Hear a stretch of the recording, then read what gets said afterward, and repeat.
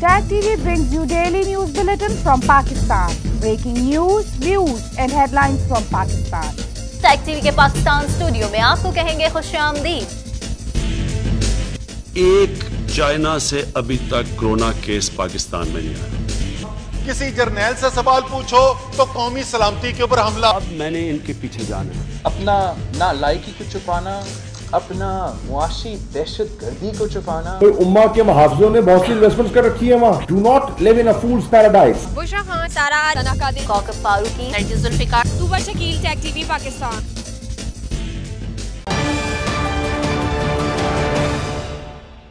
अस्सलाम वालेकुम tag TV के पाकिस्तान स्टूडियो में आपको कहेंगे खुश आमदेद मैं हूँ वकार हुसैन। सबसे पहले नज़र डालते हैं न्यूज़ हेडलाइंस पर। महल कोरोना वायरस ने मजीद अड़तालीस जिंदगियों के चिराग गुल कर दिए। गुजशत चौबीस घंटों के दौरान मजीद दो हज़ार पाँच सौ सत्रह नए मरीज़ सामने आ गए। ईद उल फितर का दूसरा रोज़ बीस सादगी से मनाया गया। ईद के मौके पर दावतों और सैर सपाटों से इज्तनाब बरता गया। एस ओ पीस की खिलाफ वर्जी पर कार्रवाइयाँ भी अमल में लाई गईं। वर्ल्ड बैंक ने कोरोना वैक्सीनेशन के लिए पाकिस्तान की इमदाद की मंजूरी दे दी। इमदाद से सेहत के निज़ाम और वैक्सीनेशन मुहिम पर अमल दरामद करने की सलाहियत को तकवीत मिलेगी। आलम इस्लाम से गुजारिश है कि फ़लस्तियों की मदद करें तायर अशरफी कहते हैं कि मुस्लिम उम्मा कश्मीर और फ़लस्तीन के मामले पर आगे बढ़ेगी।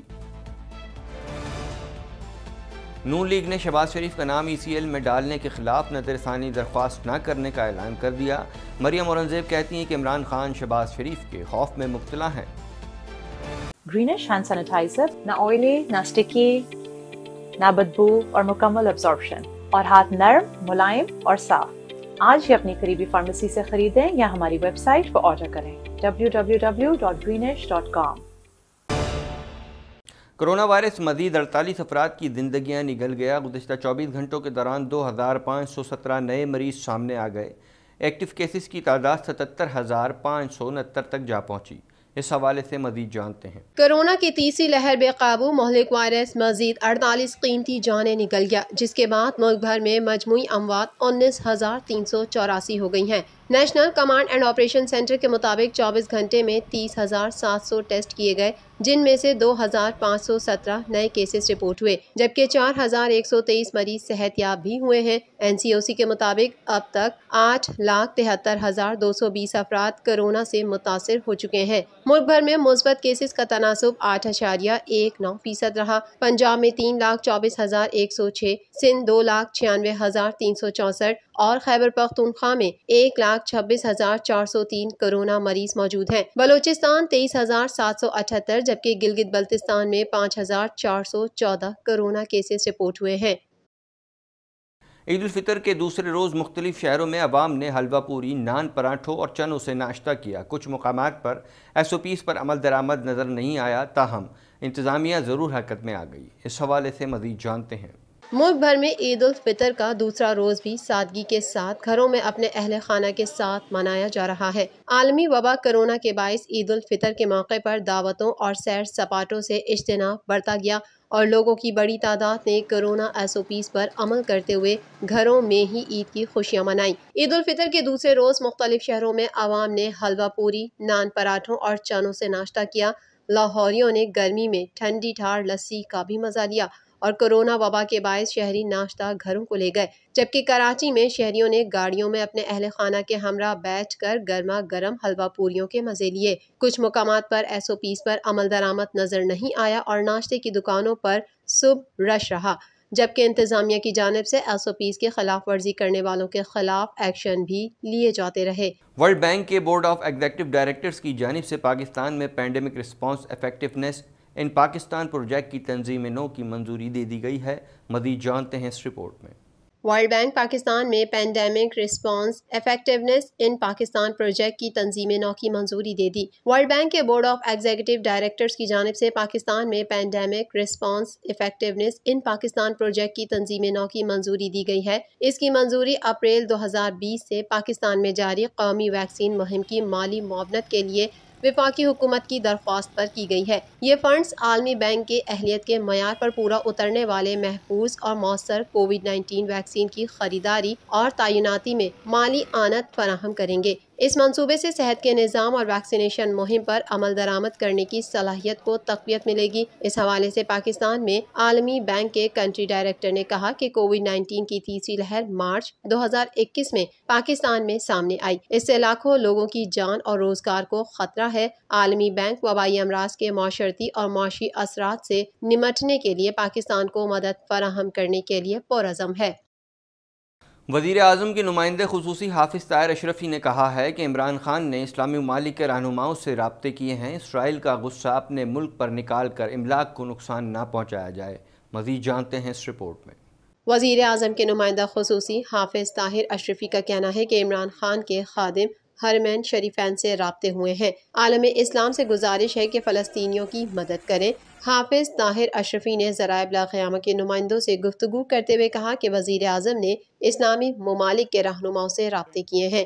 इसराइल का गुस्सा अपने मुल्क पर निकाल कर अमलाक का नुकसान न पहुँचाए। उन्होंने कहा की इस्लामी ताउन तंजीम का इजलास बुलाया गया है। मुस्लिम उमा कश्मीर और फलस्तीन के मामले पर आगे बढ़ेगी। वज़ीर अजम पाकिस्तान की खादिमरमैन शरीफैन शाह सलमान बिन अब्दुल अज़ीज़, फ़लस्तीन के सदर महमूद अब्बास, तुर्की के सदर तैयब अर्दगान और दिगर इस्लामी ममालक के कायदीन से जो है, वो रबते हुए हैं और पाकिस्तान ये चाहता है कि ये जुल्म सितम का जो सिलसिला है, वो बंद हो और इस्लामी ताउन तंजीम और अकवा मुतहदा की सतह पर अमली इकदाम उठाए जाएँ। हर रमज़ान में क़्यामत बर्पा होती है फ़लस्तियों पर कश्मीरियों पर। ताहिर अशरफी ने मजीद कहा कि फ़लस्तीन पर बम गिराए जा रहे हैं। गजा में तशद से खातन और बच्चे शहीद हुए हैं। ख्याल रहे कि हाफिज ताहिर अशरफी ने जुमे को पूरे मुल्क में योम फ़लस्तीन मनाने का ऐलान किया था। बम्बारमेंट से गजा में और उसके गिरदनवा में और फ़लस्तीन के अंदर जो है हती के अलक्सा के अंदर जो बम फेंके गए उससे अलक्सा के कुछ हिस्से जो हैं, उनको जलाने की कोशिश की गई। पाकिस्तान मुस्लिम लीग नून की तर्जुमान मरीम औरंगज़ेब ने कहा है कि इमरान माफिया ने हर शोबे में चोरी और करप्शन आम कर दी है। वजारत दाखिला की जानब से गैर कानूनी समरी जारी की गई। मजीद जानते हैं इस रिपोर्ट में। सूबाई दारकूमत लाहौर में ज़रा क़यामा के नुमाइंदों से गुफ्तु करते हुए मरियम औरंगज़ेब ने कहा कि शहबाज शरीफ ने किसी मंसूबे में करप्शन नहीं की। उन्हें अदालत ने शहबाज शरीफ को बाहर जाने की इजाज़त दी। शहबाज शरीफ को एक बार बैरून मुल्क जाने की इजाज़त मिल चुकी है। शहबाज शरीफ को एयरपोर्ट पर रोका गया। उन्हें सफ़र की इजाज़त नहीं दी गई और वजह बताई कि नोट पैड अपडेट नहीं है, इसलिए जाने नहीं दिया जा सकता। शहबाज शरीफ का नाम ईसीएल में डालने के लिए ये सुप्रीम कोर्ट गए, लेकिन वहाँ भी उनकी ना सुनी गई। उन्होंने शहबाज शरीफ को एयरपोर्ट पे रोका और वहाँ ये कहा गया कि हमारा नोट पैड, जो पर्सन नॉट इन लिस्ट है, उसका नोट पैड अपडेट नहीं हुआ था और वो अपडेट होना बाकी है। तो शहबाज शरीफ साहब को इजाज़त नहीं दी गई ट्रैवल करने की। मरियम औरंगज़ेब का कहना था कि वजारत दाखिला की जानब से गैर कानूनी समरी जारी की गई ईद के दिन, तोहन अदालत की गई। तोहन अदालत इमरान खान के हुक्म पर की गई। इमरान खान शहबाज शरीफ के खौफ में मुबतला है। छुट्टी वाले दिन immigration F I A NAB के दफातर खोले गए। ये मामला अब शहबाज शरीफ या मुस्लिम लीग नून का नहीं, बल्कि लाहौर हाई कोर्ट और हुकूमत पाकिस्तान का है। ये जमहूरियत पाकिस्तान और अदलिया के लिए खौफनाक मरहला है। अदालत को इमरान खान शहजाद अकबर और वजारत दाखिला को बुलाकर पूछना चाहिए कि क्यों ईद वाले दिन गैर कानूनी समरी सर्कुलेट की गई। पाँच दफातर, NAB F I A immigration, interior और काबीना, कैबिनेट डिवीज़न को खोलकर गैर कानूनी तोहन अदालत की गई इमरान साहब के हुक्म के ऊपर। ईद वाली छुट्टी वाले दिन दफातर खोलकर शबाज शरीफ के नाम को ईसीएल पे डालने की समरी सर्कुलेट की गई।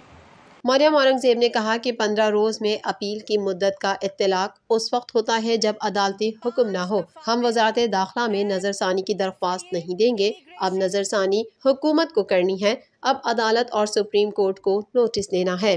कि ये मामला अब मुस्लिम लीग नून का शबाज शरीफ का और हुकूमत का नहीं है। ये मामला अब लाहौर हाईकोर्ट और गवर्नमेंट ऑफ़ पाकिस्तान का है मजीद खबरें भी बुलेटिन का हिस्सा होंगी मगर इस ब्रेक के बाद subscribe tag TV YouTube channel and press the notification button.